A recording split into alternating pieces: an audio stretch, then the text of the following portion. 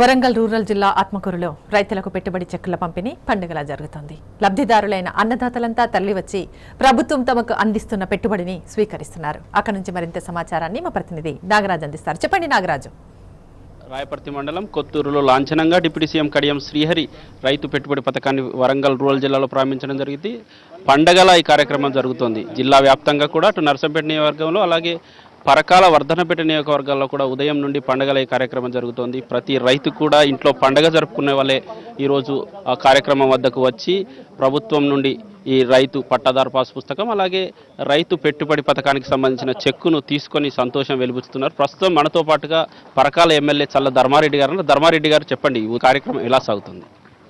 దాదాపుగా మేము ఎనిమిది గ్రామాలకు చెక్కులు పంపించేసినాం. మరి ముఖ్యంగా ఈరోజు ఉదయం నుంచి ఒక పండగ వాతావరణం లాగా. ఏ ఊరికి వెళ్ళినా ఎక్కడికి వెళ్ళినా దేనికి పోయినా ఈరోజు పండగగా చేసుకోవడం జరిగింది. బ్రహ్మాండంగా రైతులు తరలివచ్చారు. ఎలాంటి అవంతరాలు లేకుండా ఎలాంటి ఇబ్బందులు లేకుండా దాదాపు మా పరికాల నియోజకవర్గంలో ninety two to ninety six percentage complete చేశారు. మరి ముఖ్యంగా మరి రెవెన్యూ అధికారులను నేను ఈ సందర్భంగా అభినందిస్తూ ఉన్నా. ఏ గ్రామానికి వెళ్ళినా one two percentage six percentage మధ్యలో ఏదైతే కాలేదో ఆ రైతులకు కూడా మేము కన్విన్స్ చేసి చెప్పాం. ఈ పద్దెనిమిది తర్వాత ఒక వారం రోజుల లోపు మీకున్నటువంటి భూమి తగాదులను చేసుకొని ఆ తగాదులను అన్నదమ్ముల గొడవలు కావచ్చు అక్కడిళ్ళ గొడవలు కావచ్చు అమ్మినోడికి దానికి మధ్యలో రేట్లు పెరిగిన క్రమంలో గొడవలు కావచ్చు పరిష్కరించుకొని మీరు ఇమీడియట్గా ఎంఆర్ఓ గారికి కనుక మీరు కలిసినట్టయితే దాన్ని మేము తొందరగానే చేసి జూన్ పదిహేనవ తారీఖు లోపు మళ్ళీ వారికి కూడా చెక్కులు ఇస్తామని చెప్పి చెప్పడం జరిగింది. దానికి చాలా సంతోషపడ్డారు. మేము అనవసరంగా తగాదాలు పోయి మేము పెండింగ్లు పెట్టుకున్నాం సార్. మీరు చెప్పిన మాట ప్రకారంగా ఇమీడియట్గా మా తగాదాలు పరిష్కరించుకొని చేసుకుంటామని చెప్పారు.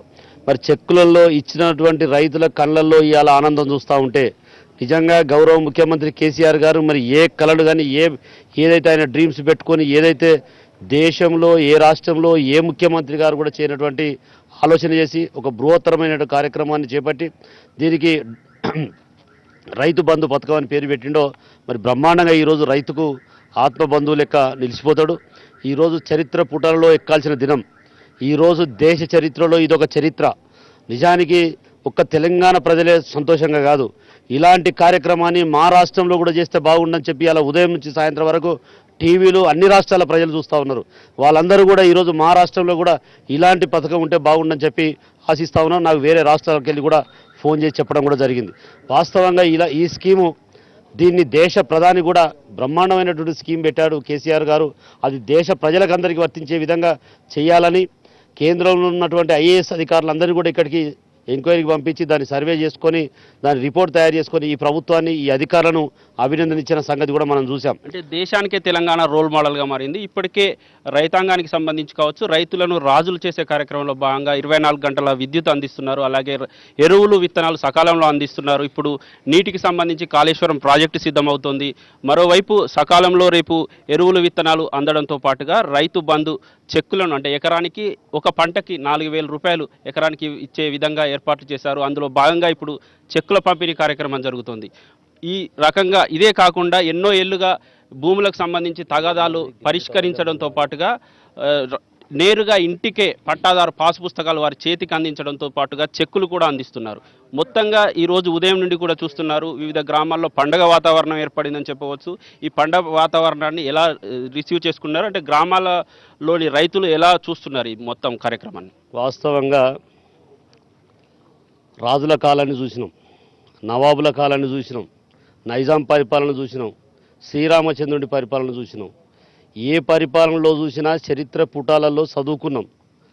శిస్తులు వసూలు చేసిన ప్రభుత్వాలని చూసినాం. రాజులు శిస్తులు వసూలు చేసిన రైతుల దగ్గర పీడిచ్చి శిస్తు వసూలు చేస్తే కొంతమంది రైతులు ఈ వ్యవసాయమే చేయలేమని భూములు ఇడిచిపెట్టిన వాటిని కూడా మనం చరిత్రలో చూసినాం. నిన్నటి వరకు పరిపాలించిన ప్రభుత్వాలు కూడా భూమి శిస్తు వసూలు చేసింది. కానీ ఈ ప్రభుత్వం మనం కొట్లాడి తెచ్చుకున్న తెలంగాణలో గౌరవ ముఖ్యమంత్రి కేసీఆర్ గారు అవడం ఆ ముఖ్యమంత్రి గారు శిస్తులు రద్దు చేసి మరి ప్రజలకే పెట్టుబడి పెట్టే విధానాన్ని ప్రజలకే డబ్బులు ఇచ్చే విధానాన్ని రైతు అప్పుల పాలు కావద్దు దుఃఖపడద్దు ఎద్దు ఏడ్చిన వ్యవసాయము రైతు బాగుపడడు రైతు ఏడ్స్తే రాష్ట్రం బాగుపడదు దేశం బాగుపడదు అనే ఉద్దేశంతో రైతు కళ్ళల్లో సంతోషాన్ని చూడాలనే ఉద్దేశంతో మరి నాలుగు వేల పథకాన్ని పెట్టాడు. మరి రెండో పంటకు నాలుగు వేలు పెట్టాడు. ఎనిమిది వేల రూపాయలు ఇవ్వడం అనేది నిజంగా కూడా ఈరోజు దేశంలో చరిత్ర. రెండోది ఏదైతే మీరు అన్నారో మరి ముందు చూపుతోటే నాలుగు సంవత్సరాల క్రితమే ఒక ముందు చూపుతోటి మిషన్ కాకతీయ చెరువులు తవ్వుకోవాలి. ఆ చెరువులకు నాలుగు సంవత్సరాల వరకే గోదావరి నీళ్ళు తెచ్చుకోవాలి. మరి ఈ భూ ప్రక్షాళన చేసుకునే దానికి ముందే రుణమాఫీ రైతులకు ఉన్నటువంటి పదిహేడు వేల కోట్ల రూపాయలను రుణమాఫీ చేసి రైతులను రుణ విము- విముక్తులను చేసి రైతులు అసలు అప్పులే తీసుకోవద్దు. అప్పులు తీసుకోవాల్సిన అవసరం ఏంటి? దానికి మనమే ఎందుకు పెట్టుబడి పెట్టకూడదు? రైతును ప్రోత్సహించాలి. వ్యవసాయమే దండగాని వలసలు పోతున్న కూలి పని చేసుకుంటామని పోతున్న రైతులందరూ మళ్ళీ తిరిగి వాపసు రావాలి. ఆ రైతులు ఈరోజు మరి దేశానికి వెన్నెముకలాగా నిలబడాలంటే మనం పెట్టుబడి పెట్టాలనే ఉద్దేశంతో ఒక బృహత్తరమైన కార్యక్రమం చేపట్టడం జరిగింది. వాస్తవంగా ఈ నాలుగు వేల రూపాయల పెట్టుబడితోటి రైతులు చాలామంది ఈరోజు ఉదయం నుంచి మాట్లాడుతూ ఉన్నా చాలా సంతోషంగా మాకు మొదటి పెట్టుబడి ఏ బ్యాంక్ ఇవ్వాల్సిన అవసరం లేదు సార్. ఏ బ్యాంక్ చుట్టూ తిరగాల్సిన అవసరం లేదు. ఏ అప్పులోని దగ్గర తిరగాల్సిన అవసరం లేదు. మేము డైరెక్ట్గా ఈ వీటితోటే మేము పెట్టుబడి పెట్టుకుంటామని చాలా సంతోషంగా చెప్పారు. వాస్తవంగా ఈరోజు ఒక్క ఇరిగేషన్ శాఖకే ఒక ఇరిగేషన్ శాఖకు ఇరవై ఐదు వేల కోట్ల రూపాయల బడ్జెట్ పెట్టుకున్నాం. వాస్తవంగా వచ్చే సంవత్సరం వరకు మన కాళేశ్వరం ప్రాజెక్టు కావచ్చు సీతారామ కావచ్చు భక్తరామరావు కావచ్చు ప్లస్ మనకు పాలమూరు రంగారెడ్డి ఉన్నటువంటి మెదక్ జిల్లాలో ఉన్నటువంటి లిఫ్ట్ ఇరిగేషన్ అన్ని కనుక కంప్లీట్ చేసుకుంటే ఈ ఇరవై ఐదు కోట్ల రూపాయలు మిగులు బడ్జెట్గా ఉంటాయి వచ్చే సంవత్సరం వరకు. ఆ బడ్జెట్ కూడా రైతులకు ఏదైతే కళ్యాణ లక్ష్మి యాభై ఒక్క వెయ్యి రూపాయల నుంచి డెబ్బై ఐదు వేలు డెబ్బై ఐదు వేల నుంచి లక్ష పదహారు ఇచ్చాడో ఈ నాలుగు వేల పథకం కూడా రాబోయే రోజుల్లో పెరుగుతుందని చెప్పి కూడా ఈ సందర్భంగా తెలియజేస్తున్నాం. మరి ఇలాంటి స్కీమ్ను తీసుకురావడం నిజంగా ఇది చాలా గొప్ప వరం. రైతులు నిన్నటి వరకు చాలా బాధపడ్డారు. రైతు వ్యవసాయం చేయాలంటే ఇబ్బంది పడతారు. కానీ నేను అంటున్నా ఈరోజు తెలంగాణ ప్రాంతంలో ప్రతి ఇంటికి ఒక బిడ్డ ఇంజనీరింగ్ డిగ్రీ పీజీలు చేసిన స్టూడెంట్స్ ఉన్నారు. మా నాయనలే వ్యవసాయం చేయలేకపోతాను మేము చేయలేమని చెప్పి వరంగల్కు హైదరాబాద్కు తరలిపోయిన ప్రజలు. ఆ విద్యార్థులంతా కూడా రేపు మేము కూడా వ్యవసాయం చేసుకుంటాం అధునాతనమైన పరికరాలతో చేసుకుంటాం అని చెప్పి వచ్చే అవకాశాలు ఎక్కువ ఉన్నాయి నిజంగా వాస్తవంగా చూసాం వరి నాటేయాలన్నా వరి గొయ్యాలన్నా వరి కలవాలన్నా చాలా ఇబ్బందులు పడేది. లేబర్ దొరకక మందులు స్ప్రే చేయక రకరకాల ఇబ్బందులు పడుతున్నాం. ఈరోజు రైతాంగానికి వరి కోసే మిషన్లు వచ్చినాయి. సబ్సిడీ ద్వారా ఇస్తున్నాం. ఈ సంవత్సరమే ఆత్మకూరు మండలానికి ఒక ఎనిమిది వరి నాటే మిషన్లు కూడా ఇవ్వబోతున్నాం. సబ్సిడీలో వరి నాటే మిషన్లు కూడా ఈ సంవత్సరం ఆత్మకూరు మండలానికి ఇస్తున్నాం. ప్రతి మండలానికి ఒక పది వరి నాటేసే మిషన్లు సబ్సిడీ ద్వారా దాని ద్వారా రైతాంగానికి నాటేసే కష్టం తప్పుతుంది. వరి కోసే కష్టం తప్పుతుంది. కలిసే మిషన్లు వచ్చినాయి. ఈ రోజు బురదలకు దిగే ట్రాక్టర్లను ఊరికి నాలుగు ఐదు మేము సబ్సిడీ ద్వారా ట్రాక్టర్లు ఇచ్చాం. ప్రతి గ్రామంలో సబ్సిడీ ట్రాక్టర్లు ఉన్నాయి. లిఫ్ట్ ఇరిగేషన్లకు ఇస్తున్నాం. డ్రిప్ ఇరిగేషన్లకు సబ్సిడీ ఇస్తున్నాం.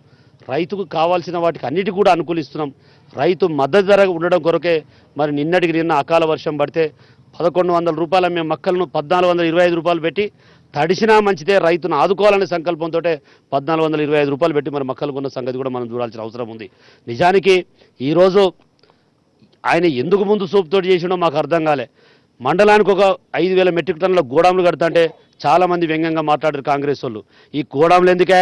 ఉన్న గోదాములు నిండుతలేవు.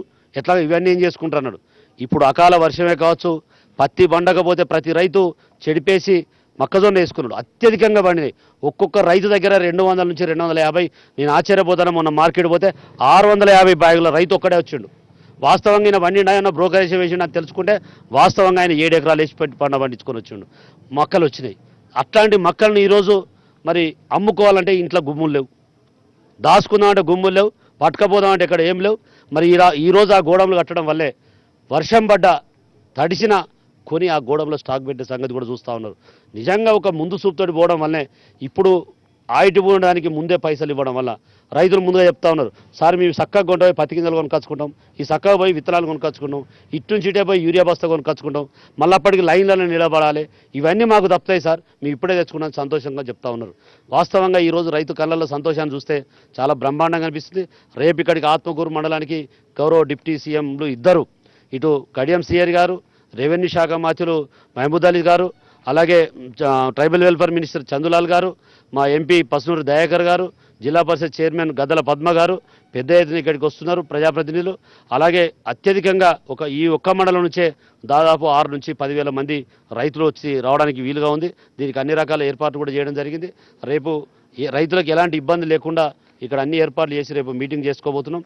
గ్రామాలలో కూడా ఇచ్చే చెక్కుల దగ్గర టెంట్లు వేసాం కుర్చీలు వేశారు. అధికారులు కూడా బ్రహ్మాండంగా చూసుకుంటున్నారు.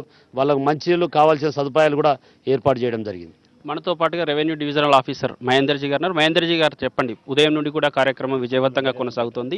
మీకు ఏమైనా సమస్యలు కానీ ఇతరత్ర ఏమైనా అంశాలు కానీ మీ పరిశీలనలోకి వచ్చాయి? లేదు. ముఖ్యంగా ఈరోజు ప్రారంభించబడిన ఈ రైతు బంధు చెక్కులు మరియు పట్టాదారు పాస్ పుస్తకాల కార్యక్రమం ఈ డివిజన్ మొత్తం జిల్లా పరిధిలో పదిహేను మండలాలలో స్టార్ట్ అయింది. గౌరవ రాష్ట్ర ఉప ముఖ్యమంత్రి మరియు పాలకుర్తి ఎమ్మెల్యే గారు దయాకర్రావు గారి ఆధ్వర్యంలో జిల్లాలో ప్రారంభం కూడా గౌరవ కలెక్టర్ గారి ఆధ్వర్యంలో చేయడం జరిగింది. అక్కడ రాయపర్తి మండల కేంద్రంతో పక్కన ఉన్న కొత్తూరు గ్రామంలో మరి దాదాపు పద్దెనిమిది వందల రైతులు కౌంటర్లను మూ ఐదు కౌంటర్లను ఏర్పాటు చేసి మనము పంపిణీ చేస్తున్నప్పుడు వాళ్ళ యొక్క ప్రతిస్పందన చాలా బాగుంది. ముఖ్యంగా వాళ్ళు చాలా ఆనందంగా క్యూలో సిస్టమేటిక్గా ఎటువంటి గాబరా లేకుండా సిస్టమేటిక్గా తీసుకుంటూ మనకు సహకరించడం చేస్తూ ఉన్నారు. ముఖ్యంగా అక్కడ ఇక్కడ ఇద్దరు ముగ్గురు రైతులు గౌరవ ఇప్పుడు ఎమ్మెల్యే గారు అన్నట్టుగానే బి కేటగిరీలో ఉండబడినవి మనకు టెక్నికల్గా చేయలేకుండా ఉన్నవి ఆధార్ కార్డు రాకుండా మనకు పట్టాదారు పాస్ పుస్తకంలో ప్రింట్ కానివి అటువంటి వాటికి మనము ప్రతి చోట కూడా ఎక్కడైతే పంపిణీ కా- కేంద్రం ఉందో పంపిణీ కేంద్రంలో విచారణ సెంటర్ను అంటే ఎంక్వైరీ సెంటర్ను పెట్టాము. అక్కడ ఈ యొక్క ప్రతి వివరానికి వాళ్ళకు సమాధానం ఇచ్చి ఆఫ్టర్ దిస్ ప్రోగ్రామ్ ఈ ప్రోగ్రామ్ అనంతరము పద్దెనిమిది పంతొమ్మిది తర్వాత ఆ వాటన్నింటినీ టేకప్ చేసి మళ్ళీ మనము ఆ రాకుండా టెక్నికల్గా ఆగిన పాస్ పుస్తకాలను తీసుకోవడం ఒక పార్ట్. అదేవిధంగా బీ కేటగిరీలో ఉన్న వాటిని ఆ సమస్యలను పరిష్కరించి వాటిని కూడా మళ్ళీ మనం అప్లోడ్ చేసి పాస్బుక్లను తెప్పించే కార్యక్రమంలో వారంతా కూడా సహకరిస్తున్నారు. ఎటువంటి ఇబ్బంది ఎటువంటి విమర్శ లేకుండా మా రైతులు సహకరిస్తున్నారు కనుక ఇది దిగ్విజయంగా నడిచే విధంగా అన్ని ఏర్పాట్లను చేశాం. ఇటు రాజకీయ నాయకులు అలాగే అధికారులు జిల్లా అధికార యంత్రాంగం పూర్తిగా కూడా ఈ కార్యక్రమంలో నిమగ్నమైంది. మరికొందరు జిల్లా అధికారులు కూడా ఉన్నారు. సార్ చెప్పండి మీరు కొన్ని విలేజ్లకు స్పెషల్ ఆఫీసర్గా ఉన్నారు. మరి కొ- రైతులకు సంబంధించి ఫీడ్బ్యాక్ ఎలా ఉంది? గత చరిత్రలో ఎప్పుడూ లేని విధంగా కనివిని ఎరగని రీతిలో ఈ వినూత్నమైన పథకాన్ని పట్టుకొచ్చినందుకు ముందుగా రైతుల తరఫున వాళ్ళ సంతోషాన్ని చూస్తున్నారు కాబట్టి రైతుల తరఫున మన హానరబుల్ సీఎం గారికి కృతజ్ఞతలు తెలుపుకుంటున్నాను. పంటలకు పండించిన పంటలకు మద్దతు ధర చూసాం కానీ పండించిన పండించబోయే పంటలకు కూడా మద్దతు ధర ఇస్తున్నటువంటి గొప్ప కార్యక్రమం ఇది. చాలా సంతోషంగా ఉన్నారండి రైతులు. ఈ సంతోషాన్ని మామూలుగా వ్యక్తపరచడం రానున్న రోజులు ఆ రైతులు సీఎం గారికి పట్టే హారతుల ద్వారా మనకు తెలిసిపోతుంది. ఓకే మొత్తంగా రైతు బంధు పథకం కార్యక్రమం అలాగే పట్టాదారు పాస్ పుస్తకాలు రైతు చెక్కుల పంపిణీ. ఈ కార్యక్రమం కూడా వరంగల్ రూరల్ జిల్లా వ్యాప్తంగా కూడా విజయవంతంగా కొనసాగుతుంది. మొదటి రోజు దాదాపుగా చెక్కుల పంపిణీ సందర్భంగా తొంభై ఆరు శాతం మంది రైతులు ఈరోజు చెక్కులు రిసీవ్ చేసుకున్నారు అలాగే పాస్బుక్లు కూడా తీసుకున్నారు. అధికార యంత్రాంగం మొత్తం ఈ కార్యక్రమాన్ని జిల్లా అధికార యంత్రాంగం పర్యవేక్షిస్తోంది. రూరల్ జిల్లాకు సంబంధించి ఈరోజు డిప్యూటీ సీఎం కడియం శ్రీహరి లాంఛనంగా ఈ కార్యక్రమాన్ని ప్రారంభించారు. రేపు ఆత్మకూరులో రెవెన్యూ శాఖ మంత్రి మంత్రి డిప్యూటీ సీఎం మహమూద్ అలీతో పాటుగా జిల్లాకు సంబంధించిన మంత్రి డిప్యూటీ సీఎం కడియం శ్రీహరి మరొక ముగ్గురు మంత్రులు కూడా రేపటి కార్యక్రమాల్లో పాల్గొనబోతున్నారు. ఇది వరంగల్ రూరల్ జిల్లాలో తాజా పరిస్థితి.